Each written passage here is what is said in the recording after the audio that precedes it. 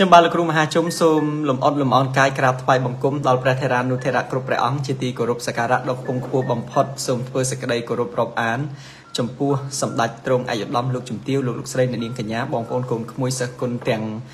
ក្នុងនិងក្រៅប្រទេសទាំងអស់ជាទីគោរពនិងជាទីស្រឡាញ់ដ៏ជ្រាលជ្រៅជាទីបំផុតរបស់លោកគ្រូមហាជុំ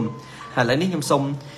ទូទាយនៅជោគជតារាសីជូនដល់អស់លោកអ្នកតែម្ដងគឺយើងផ្ដើមដំបូងខ្ញុំសូមទូទាយ សម្រាប់លោកអ្នកដែលកើតនៅឆ្នាំជូតអឺរាសីរបស់លោកអ្នកសម្រាប់ថ្ងៃស្អែកនេះគឺលោកអ្នកដែលកើតឆ្នាំជូតរាសីលោកអ្នកមធ្យមពណ៌សំណាងគឺពណ៌ទឹកសមុទ្រលេខសំណាងគឺលេខ272អញ្ចឹងលោកអ្នកដែលកើតឆ្នាំជូតសូមលោកអ្នក comment លេខ272ហើយ share នៅវីដេអូលោកគ្រូមហាជុំ3ដងដាក់លេខ272 លេខ272គឺជាលេខនាំលៀបនាំសំណាងលេខ272គឺជាលេខហេងចឹងបងប្អូនកូនក្មួយដែលកំពុងតាមដានទស្សនានៅការ live របស់លោកគ្រូមហាជុំហើយលោកអ្នកកើតឆ្នាំជូតលោកអ្នក comment លេខ272ហើយលោកអ្នក share វីដេអូដាក់លេខ272ពណ៌សំណាងរបស់លោកអ្នកគឺពណ៌អឺទឹកសមុទ្រចឹងលោកអ្នកស្អែកចង់ហេងលោកអ្នកអាចពាក់អាវពណ៌ទឹកសមុទ្របានណាបាទគឺជាពណ៌លៀបពណ៌ជ័យពណ៌សំណាងសម្រាប់អស់លោកអ្នក លោកអ្នកជាទីគោរពលោកអ្នកជាទីស្រឡាញ់ទាំងអស់គ្នាអឺរាសីសម្រាប់ថ្ងៃស្អែកគឺមធ្យមសម្រាប់លោកអ្នកដែលកើតនៅឆ្នាំជូតលេខសំណាង272ពណ៌សំណាងពណ៌ទឹកសមុទ្រនៅថ្ងៃស្អែកនេះរាសីមធ្យមបើនិយាយពីកិច្ចការងារលក់ដូររកស៊ីប្រកបរបរអាជីវកម្មលក់ចេញទិញចូលអីគឺអឺល្អប្រសើរបាទល្អប្រសើរមិនថាការរកស៊ីមិនថាការលក់ដូរអីទេគឺ ល្អខ្លាំងសម្រាប់លោកអ្នកប៉ុន្តែលោកអ្នកស្អែកហ្នឹងអ្នកកើតឆ្នាំជូតខ្ញុំទោះទីមើលទៅហាក់ដូចជាមិនសូវសប្បាយចិត្តប្រហែលទេ ដោយសារតែលោកអ្នកនឹងអឺមានមានគេស្ដីបន្ទោសបាទមានគេស្ដីបន្ទោសមិនថាអ្នករួមការងារឬមួយក៏ចបាយនាយទេ គឺគេនឹងស្ដីបន្ទោសកូនអញ្ចឹង លោកអ្នកដែលកើតនៅឆ្នាំជូតនឹងទោះខំប្រឹងធ្វើការយ៉ាងម៉េចក៏នៅតែមានគេស្ដីបន្ទោសដែរហើយអញ្ចឹងត្រូវមានការប្រយ័ត្នប្រយែងបន្តិចណាបាទពាក់ព័ន្ធជាមួយនឹងគេស្ដីបន្ទោសហ្នឹងអញ្ចឹងអត់ធ្មត់ឲ្យបានច្រើនណាអ្នកដែលកើតឆ្នាំជូតពីព្រោះថាមនុស្សយើងកាលណាគេខំប្រឹងធ្វើការឲ្យអស់ពីលទ្ធភាពហើយហើយនៅមានគេស្ដីបន្ទោសទៀត គឺយើងអត់សូវសប្បាយចិត្តអត់សូវរីករាយប្រហែលទេប៉ុន្តែមិនដឹងធ្វើម៉េចទេបើសិនជាគេស្ដីបន្ទោសយើងយើងក៏ទទួលយកទៅហើយយើងកុំតបតដោយសារយើងជាកូនចៅគេដោយសារយើងជាថ្នាក់ក្រោមគេណាបាទអញ្ចឹងលោកអ្នកអាចអឺអត់ធ្មត់ទៅណាលោកអ្នកដែលកើតឆ្នាំជូតអត់ធ្មត់ឲ្យមែនតែនណាអញ្ចឹងអ្នកដែលទស្សនាខ្ញុំដែលកើតនៅឆ្នាំជូតសូមលោកអ្នកប្រយ័ត្នប្រយែងហើយត្រូវធ្វើម៉េចអត់ធ្មត់បើទោះបីជាមានអ្នក គេស្ដីបន្ទោសអីក៏ដោយអញ្ចឹងសរុបមកវិញលោកអ្នកដែលកើតឆ្នាំជូតលេខសំណាងគឺលេខ272ពណ៌សំណាងគឺពណ៌ទឹកសមុទ្រអញ្ចឹងនៅថ្ងៃស្អែកនេះលោកអ្នកប្រយ័ត្នប្រយែងបន្តិចហើយបើមានការគេស្ដីបន្ទោសអីយើងមានការអត់ធ្មត់ឲ្យបានច្រើនបន្តិចណាបាទយើងនឹងទទួលបានលៀបបានសំណាងបានសុខបានចម្រើនរកស៊ីមានបានតិចតិចសុខសบายបាទសម្រាប់លោកអ្នកដែលកើតឆ្នាំជូត បន្ទាប់មកទៀតខ្ញុំទួទាយសម្រាប់លោកអ្នកដែលកើតឆ្នាំឆ្លូវវិញម្ដងបាទរាសីរបស់លោកអ្នកឡើងខ្ពស់ត្រដែតលេខសំណាងគឺលេខ695ពណ៌សំណាងពណ៌ស៊ីលៀប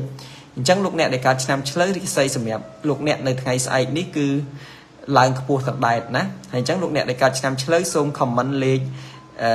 695ហើយ share វីដេអូលោកគ្រូ3ដងដាក់លេខ695ឆ្នាំឆ្លូវរាសីឡើងខ្ពស់ត្រដែតអញ្ចឹងថ្ងៃស្អែកនេះលោកអ្នក ប៉ងបំណងប្រាថ្នាធ្វើកិច្ចការអ្វីនីមួយនីមួយគឺនឹងសម្រេចបានដូចបំណងលោកអ្នកលក់ដូររកស៊ីអីក៏ទទួលបាននៅភាពល្អប្រសើរកកបលក់ដាច់ហើយក៏មានភ្ញៀវមានអតិថិជនចូលទិញច្រើន ហើយចំណែកឯមុខរបរការងាររកស៊ីផ្សេងផ្សេងក៏រលូនហើយបរិយាកាសល្អដែរការធ្វើដំណើរទៅទីជិតទីឆ្ងាយសម្រាប់លោកអ្នកដែលកើតឆ្នាំឆ្លូវនៅថ្ងៃស្អែកនេះក៏មានភាពល្អប្រសើរ ហើយបើនិយាយអំពីសុខសวัสดิភាពក៏មិនមានបញ្ហាអីដែរបញ្ហាស្នេហាក៏ស្អិតល្មួតល្អុកល្អឿនហើយអឺសុខភាពអីក៏ល្អដែរណាអញ្ចឹងសរុបមកវិញលោកអ្នកដែលកើតឆ្នាំឆ្លូវគឺល្អប្រសើរហើយក៏ធ្វើអីបានជោគជ័យរីកចម្រើនច្រើនដែរ អញ្ចឹងលោកអ្នកដែលកើតឆ្នាំឆ្លូវស្អែកនេះរាសីរបស់លោកអ្នកឡើងខ្ពស់ត្រដែតលេខសំណាង695ពណ៌សំណាងពណ៌ស៊ីលៀបណា បាទអញ្ចឹងលោកអ្នក comment ហើយ share វីដេអូ3ដងដាក់លេខសំណាងទៅហើយលោកអ្នកកុំភ្លេចពាក់អាវត្រូវនឹងពណ៌ដែលលោកគ្រូមហាជុំបានទូទាយជូនបាទបន្តមកទៀតខ្ញុំសូមទូទាយជូនដល់លោកអ្នកដែលកើតនៅឆ្នាំអឺអឺខាលវិញម្ដង ឆ្នាំឆ្នាំខាលរាសីលោកអ្នកស្អែកនេះគឺមធ្យមហើយពណ៌សំណាងពណ៌ស្លាទុំលេខសំណាង977អញ្ចឹងលោកអ្នកដែលកើតនៅឆ្នាំខាល សូមលោកអ្នក comment លេខសំណាងគឺលេខ977ហើយ share វីដេអូលោកគ្រូមហាជុំ3ដងដាក់លេខ977ជោគជតារាសីរបស់លោកអ្នកនៅថ្ងៃស្អែកនេះគឺមធ្យមបាទរាល់កិច្ចការងារលក់ដូររកស៊ីអីបើតាមការខ្ញុំគុណគូទៅគឺល្អប្រសើរអត់មានបញ្ហាអីណាមួយដែល ធ្វើឲ្យលោកអ្នកពិបាកចិត្តទេ បាទចំពោះការងារហើយ ការធ្វើដំណើរទៅទីចិត្តទីឆ្ងាយក៏សុវត្ថិភាពដែរសម្រាប់លោកអ្នកដែលកើតនៅឆ្នាំខាលនៅថ្ងៃស្អែកហ្នឹងប៉ុន្តែទោះបីជាការងាររលូនហើយការធ្វើដំណើរមានសុវត្ថិភាពក៏ដោយប៉ុន្តែផ្លូវចិត្តរបស់យើងហាក់ដូចជាហត់នឿយច្រើនហត់ចិត្តលោកអ្នកកើតឆ្នាំរកាស្អីហត់ចិត្តមានអារម្មណ៍ថាហត់ចិត្តធ្វើអីអត់សូវបានដូចបំណងណាហើយធ្វើអីវាស្មុគស្មាញច្រើននៅថ្ងៃស្អែកហ្នឹងអញ្ចឹងវារៀងហត់ចិត្តហត់គំនិតបន្តិចអញ្ចឹងពិបាកចិត្តច្រើនណាស់ណាថ្ងៃស្អែកហ្នឹងសម្រាប់លោកអ្នកដែលកើតនៅឆ្នាំខាលហត់ចិត្តណាអញ្ចឹងយើងធ្វើអ្វីដោយមួយមួយណាកុំកុំគេហៅថាកុំកុំអន្ទះសាហើយក៏កុំប្រញាប់ណាពាក្យខ្មែរលោកថាសន្សឹមសន្សឹមកុំបំបោលណាបាទកៃលោវាមិនដល់ដោយបំណងប្រាថ្នាអញ្ចឹងលោកអ្នកដែលកើតនៅឆ្នាំ ខាលហ្នឹងគឺត្រូវតែប្រយ័ត្នប្រយែងតិចថ្ងៃស្អែកនឹងកុំឲ្យហត់ចិត្តច្រើនពេកកាលណាដែលយើងធ្វើអីដោយបខំកាលណាយើងធ្វើអីដោយក្តីបញ្ញាប់បញ្ញាលគឺវាមិនសូវបានផលល្អទេអញ្ចឹងត្រូវប្រយ័ត្នប្រយែងនៅចំណុចនេះណាបាទសម្រាប់កូនចៅដែលកើតនៅឆ្នាំខាលទាំងអស់សូមជូនពរឲ្យបានសេចក្តីសុខសេចក្តីចម្រើនមានលៀបមានជ័យអញ្ចឹងសរុបមកវិញឆ្នាំខាលរាសីមធ្យមលេខសំណាងគឺលេខ977 ពណ៌សំណាងពណ៌ស្លាទុំស្អែកនេះរៀងហត់ចិត្តហត់កាយបន្តិចណាលោកអ្នកដែលកើតនៅឆ្នាំរកាបាទសំទោសឆ្នាំខាលឆ្នាំខាលណារៀងហត់ចិត្តបន្តិចហើយបាទបន្ទាប់មកទៀតខ្ញុំបាទសូមទូទាយជូនដល់លោកអ្នកដែលកើតនៅឆ្នាំថោះវិញម្ដង ឆ្នាំថោះរាសីរបស់លោកអ្នកសម្រាប់ថ្ងៃស្អែកនេះគឺឡើងខ្ពស់តដែតលេខសំណាងគឺលេខ579ពណ៌សំណាងពណ៌ត្នោត លោកអ្នកដែលកើតឆ្នាំថោះសូមលោកអ្នកអឺ comment លេខសំណាង គឺលេខ579ហើយពណ៌សំណាង គឺពណ៌ត្នោតអញ្ចឹងរាល់កិច្ចការងារលក់ដូររកស៊ីប្រកបរបរអាជីវកម្មចិញ្ចឹមជីវិតប្រចាំថ្ងៃសម្រាប់លោកអ្នកដែលកើតនៅឆ្នាំថោះហ្នឹងគឺ មានភាពល្អប្រសើរអឺលក់ដូរដាច់សវត្ថភាព នៅក្នុងការធ្វើដំណើរក្រុមគ្រួសារអីគឺមានសុភមង្គលអត់មានឆ្លោះប្រកែកគ្នាទេហើយសុខភាពក៏ល្អប្រសើរដែរអញ្ចឹងលោកអ្នកដែលកើតនៅឆ្នាំអឺថោះនៅថ្ងៃស្អែកនេះគឺរាសីឡើងខ្ពស់តដែតណាហើយយើងពាក់អាវពណ៌ប្រោនពណ៌ត្នោតយើងនឹងទទួលបាននៅលៀបយើងទទួលបាននៃជ័យហើយយើងក៏ប្រាថ្នានៃកិច្ចការអីបានដូចបំណងប៉ងប្រាថ្នារបស់អស់លោកអ្នកលោកអ្នកដែលកើតនៅឆ្នាំ ថោះហ្នឹងគឺល្អជោគជ័យច្រើន ទាំងការងារទាំងការរកស៊ីទាំងសេចក្តីស្នេហាទាំងអ្វីអ្វីទាំងអស់គឺចម្រើនច្រើនហើយលេខសំណាងគឺលេខ579អញ្ចឹងសូមបងប្អូនកូនក្មួយទាំងអស់ដែលកើតនៅឆ្នាំថោះហ្នឹងលោកអ្នក comment លេខសំណាងគឺ579ហើយលោកអ្នក share នៅវីដេអូលោកគ្រូមហាជុំដាក់លេខ579លោកអ្នកនឹងមានលៀបលោកអ្នកនឹងមានជ័យហើយបំណងពងប្រាថ្នានៃកិច្ចការអីបានដូចបំណងណាបាទ អញ្ចឹងសូមបន្តទៀតខ្ញុំបាទសូមទូទាយជូនដល់កូនចៅដែលកើតនៅឆ្នាំរោងណាបាទលោកអ្នកដែលកើតនៅឆ្នាំរោងវិញម្ដង គឺរាសីរបស់លោកអ្នកនៅថ្ងៃស្អែកនេះគឺមធ្យមដូចគ្នាពណ៌សំណាងពណ៌សលេខសំណាង គឺលេខ374លោកអ្នកដែលកើតឆ្នាំរោងសូមលោកអ្នកខមមិននៅលេខសំណាង គឺលេខ374ហើយពណ៌សំណាងពណ៌សណាបាទលោកអ្នកកើតឆ្នាំរោង អញ្ចឹងលោកអ្នកដែលកើតឆ្នាំរោងខ្ញុំសូមជម្រាបជូនអស់លោកអ្នកថាជោគជតារាសីរបស់អស់លោកអ្នកនៅថ្ងៃស្អែកនេះគឺមធ្យមហើយពណ៌សំណាងគឺពណ៌សលេខសំណាងលេខ374កុំភ្លេច comment លេខសំណាងហើយ share វីដេអូ3ដងដាក់លេខសំណាងលោកអ្នកដែលកើតនៅឆ្នាំរោងនៅថ្ងៃស្អែកនេះគឺលោកអ្នកមិនសូវសប្បាយចិត្តរីករាយអីប្រហែលទេដោយសារតែមានគេចំណែននិន្ទាឈ្នានេះ គេលៀបពណ៌គេនិយាយបង្កាច់បង្ខូចយើងអញ្ចឹង សូមលោកអ្នកដែលកើតនៅឆ្នាំអឺរោងទាំងអស់គ្នានៅថ្ងៃស្អែកនេះគួរតែមានការប្រុងប្រយ័ត្នឲ្យបានខ្ពស់បន្តិចហើយបើមិនមានការប្រុងប្រយ័ត្នទេគឺ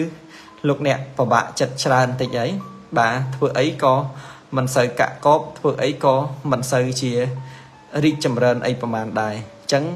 សូមឲ្យលោកអ្នកដែលកើតនៅឆ្នាំរោងគេហៅថាតាំងចិត្តឲ្យសុបាយរីករាយ ហើយខន្តីឲ្យច្រើនកុំតបតណាពីព្រោះលេខយើងគេថាមានគេឈ្នាននេះ មានគេចំណែនអញ្ចឹងបើសិនជាមានគេចំណែនមានគេឈ្នាននេះ យើងមិនបាច់តបតទេ វាអត់មានបានផលប្រយោជន៍អីទេ ហើយបើយើងនៅតែរឹងតែតឹងនៅតែតបតគឺវាធ្វើឲ្យយើងអ្នកខុសវិញណាយើងជាជនរងគ្រោះទេ ឆ្នាំរងប៉ុន្តែគេវាយយើងហើយ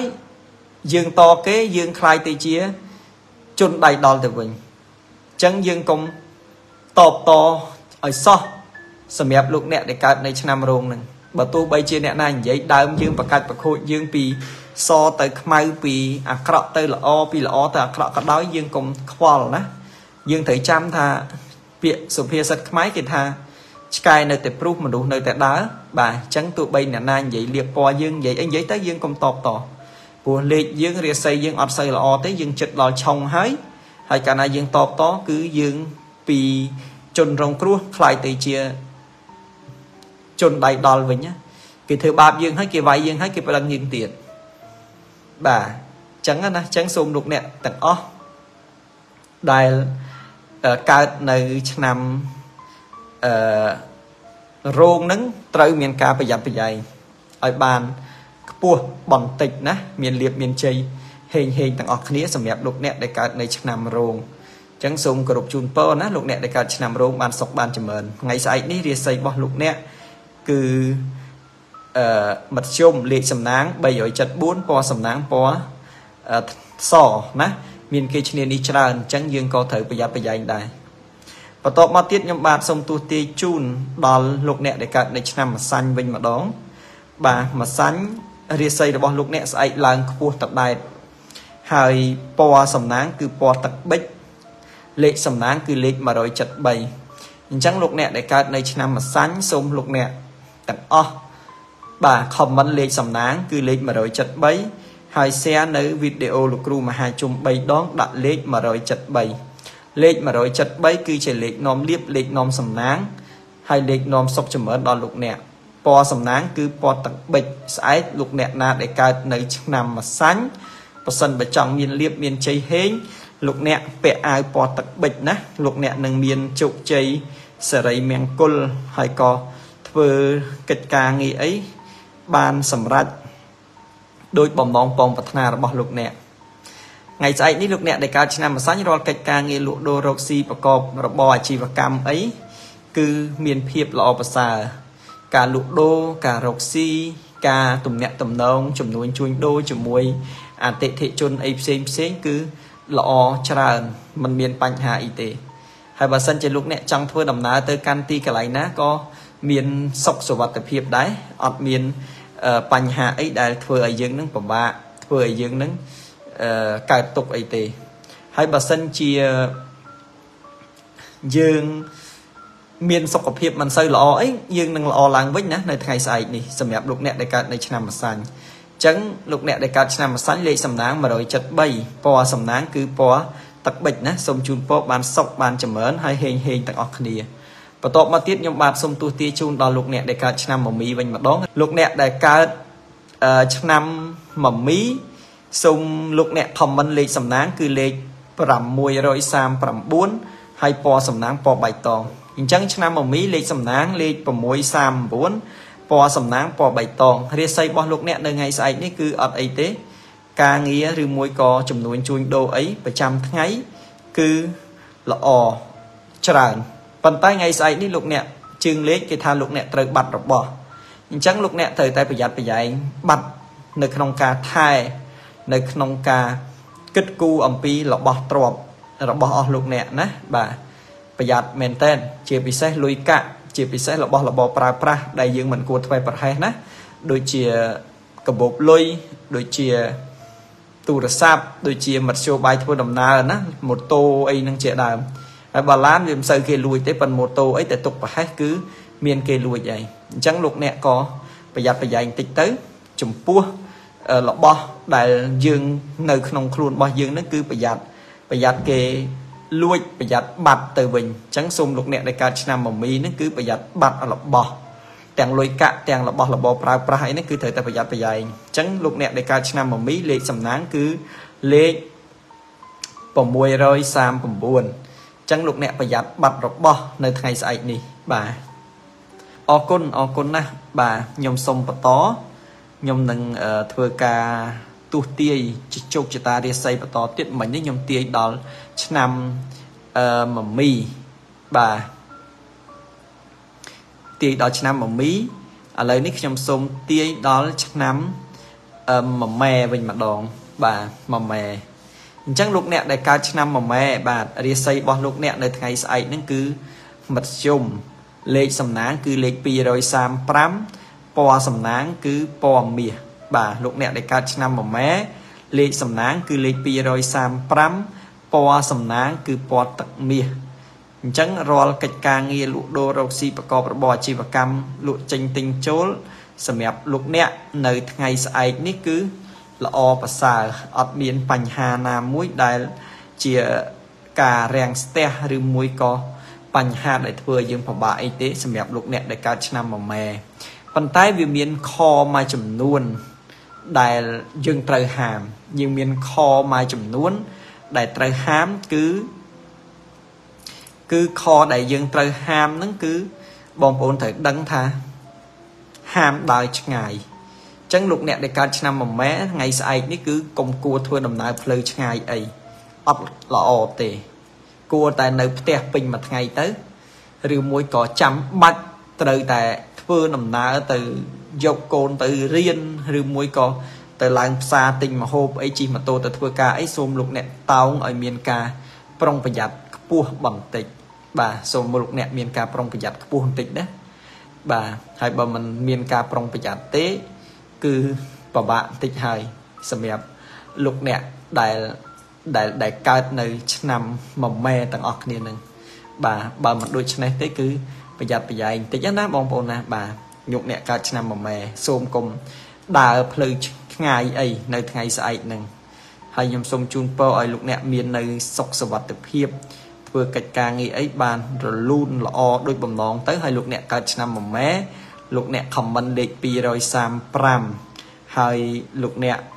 share នៅវីដេអូលោកគ្រូមហាជុំ3ដងដាក់លេខ235ទៅ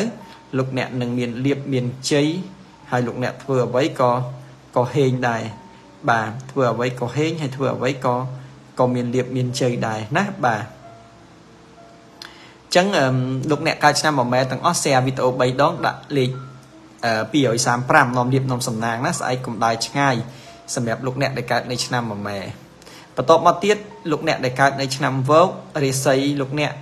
ស្អែកនេះគឺមធ្យមដូចគ្នាពណ៌សំណាងពណ៌ក្រមៅលេខសំណាងគឺលេខ565 លេខសំណាងលេខ265 565ពណ៌សំណាងពណ៌ក្រមៅសម្រាប់លោកអ្នកដែលកើតនៅឆ្នាំអឺ Verb បាទលោកអ្នកដែលកើតឆ្នាំ Verb លេខសំណាងគឺលេខអឺ565ពណ៌សំណាងពណ៌ខ្មៅពណ៌ខ្មៅណាបាទអញ្ចឹងស្អែកហ្នឹងលោកអ្នកកិច្ចការងារលក់ដូររកស៊ីប្រកបរបរអាជីវកម្មលក់ចេញទិញចូលអីហ្នឹងគឺលោកអ្នកត្រូវតែមានការប្រយ័ត្នប្រយែងបន្តិចបាទ ដោយសារយើងស្អែកសុខភាពអត់សូវល្អឈឺអញ្ចឹងកាលណាដែលស្អែកសុខភាពអត់សូវល្អឈឺការងារលក់ដូរអីក៏មិនសូវជាលះប្រហែលដែរអត់សូវសុបាយចិត្តទេអញ្ចឹងលោកអ្នកត្រូវតែប្រយ័ត្នប្រយែងបន្តិចបាទហើយសុខភាពរបស់យើងក៏ត្រូវការថែទាំដែរមិនបាច់ចាំដល់ស្អែកទេអ្នកខ្លះឆ្នាំអឺវោកហ្នឹងគឺឈឺចាប់តាំងពីថ្ងៃហ្នឹងទៅហើយបាទអ្នកខ្លះឆ្នាំវោកហ្នឹងគឺឈឺចាប់តាំងពីថ្ងៃហ្នឹងទៅហើយអញ្ចឹងលោកអ្នកកើតឆ្នាំវោកទាំងអស់សូមជូនពរដល់លោកអ្នកឲ្យបានជួបតែនឹងសេចក្តីសុខសេចក្តីចម្រើនហើយលោកអ្នករកស៊ីអីបានសំប្រកបដោយបំណងប៉ងប្រាថ្នា របស់អស់លោកអ្នកទាំងអស់គ្នាណាបាទបន្ទាប់មកទៀតខ្ញុំបាទសូមទូទាយជូនដល់លោកអ្នកដែលកើតនៅឆ្នាំរកាវិញម្ដងបាទលោកអ្នកដែលកើតនៅឆ្នាំរការាសីរបស់អស់លោកអ្នកនៅថ្ងៃស្អែកនេះឡើងខ្ពស់ត្រដែត ពណ៌សំណាងគឺពណ៌ស្វាយលេខសំណាងគឺលេខ467បាទលេខសំណាងគឺលេខ467អញ្ចឹងលោកអ្នកដែលកើតនៅឆ្នាំរកាសូមលោកអ្នកខមមិននៅលេខសំណាងមួយទៅបាទគឺលេខ467ពណ៌សំណាងពណ៌ស្វាយរាសីឡើងខ្ពស់ត្រដែត ចឹងនៅថ្ងៃស្អែកនេះរាល់កិច្ចការងារលក់ដូររកស៊ីប្រកបរបរអាជីវកម្មលក់ចេញទិញចូលអីគឺអឺលោកអ្នកមានភាពល្អប្រសើរច្រើនធ្វើកិច្ចការអីក៏ល្អ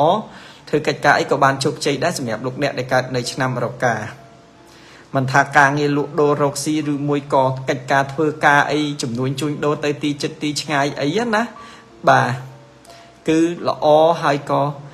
ជោគជ័យហើយក៏រីកចម្រើនវិញដែរអញ្ចឹងលោកអ្នក ធ្វើអ្វីក៏ជោគជ័យធ្វើអ្វីក៏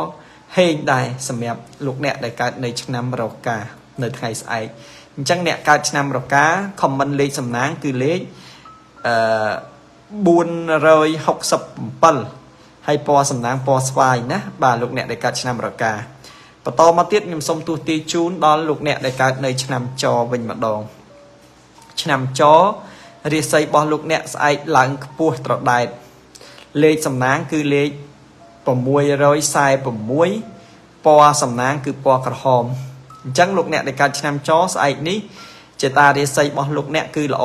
បាទឡើងខ្ពស់អញ្ចឹងកិច្ចការងារលក់ដូររកស៊ីប្រកបរបរអាជីវកម្មលក់ចេញទិញចូលអីគឺល្អបាទលោកអ្នកធ្វើដំណើរទៅទីចិត្តទីឆ្ងាយអីក៏ជួបតែរឿងល្អធ្វើអីក៏ល្អល្អគ្រប់យ៉ាងទាំងអស់នៅថ្ងៃស្អែកនេះណាធ្វើអីក៏កាក់កបធ្វើអីក៏រីកចម្រើនដែរ ចឹងសូមជូនពរដល់លោកអ្នកដែលកើតនៅឆ្នាំអឺចទាំងអស់ឲ្យថ្ងៃស្អែកបានជោគជ័យរីកចម្រើនណាបាទចឹងលោកអ្នកកើតឆ្នាំច comment លេខសំណាងគឺលេខ466អឺ666ឆ្នាំចលេខសំណាងសូម comment លេខ646ហើយពណ៌សំណាងគឺពណ៌ក្រហមហើយ សៀ3ដងទៅណាបាទលោកអ្នកដែលកើតនៅឆ្នាំកុលកូនពៅគេរាសីរបស់លោកអ្នកនៅថ្ងៃស្អែកនេះក៏ឡើងខ្ពស់ត្រដែតដែរពណ៌សំណាងគឺពណ៌លឿងបាទលេខសំណាងគឺលេខអឺ837អញ្ចឹងបងប្អូនកូនក្មួយដែលកើតនៅឆ្នាំកុលខមមិនលេខសំណាងគឺលេខ837ហើយពណ៌សំណាងគឺពណ៌ លឿងអញ្ចឹងរាល់កិច្ចការងារអ្វីអ្វីទាំងអស់សម្រាប់លោកអ្នកដែលកើតនៅឆ្នាំកុលគឺល្អប្រសើរខ្លាំងនៅថ្ងៃស្អែកកិច្ចការងារលក់ដូររកស៊ីការងារប្រកបរបរអាជីវកម្មអីផ្សេងផ្សេងហ្នឹងគឺល្អខ្លាំងសម្រាប់លោកអ្នកដែលកើតនៅឆ្នាំកុលឆ្នាំកូនជ្រូកឆ្នាំពៅគេណាបាទគឺមានលៀបមានសំណាងហេងខ្លាំងមែនតែនអញ្ចឹងលោកអ្នកដែលកើតនៅឆ្នាំកុល លោកអ្នកល្អច្រើនណាស្អែកហេងមានលៀបមានជ័យលក់ដូររកស៊ីអីដាច់ធ្វើអីបានកាក់កបធ្វើអីបានរីកចម្រើនជោគជ័យគ្រប់យ៉ាងទាំងអស់អញ្ចឹងលោកអ្នកដែលកើតនៅឆ្នាំកុលកុំភ្លេចណាបាទ comment នៅលេខសំណាងមួយទៅគឺលេខ837ហើយពណ៌សំណាងមិញនេះឆ្នាំកុលគឺពណ៌លឿងពាក់អាវពណ៌លឿងទាំងអស់គ្នា បាទពាក់អាវពណ៌លឿងទាំងអស់គ្នានឹងមានលៀបមានជ័យនឹងហេងហើយ ហើយធ្វើអ្វីក៏បានកាក់កបធ្វើអ្វីក៏រីកចម្រើនដែរនៅថ្ងៃស្អែកនេះសម្រាប់លោកអ្នកដែលកើតនៅឆ្នាំកុលសូមជូនពរណាដល់លោកអ្នកដែលកើតឆ្នាំកុលទាំងអស់សូមមានលៀបមានជ័យសុខសប្បាយហើយហេងហេង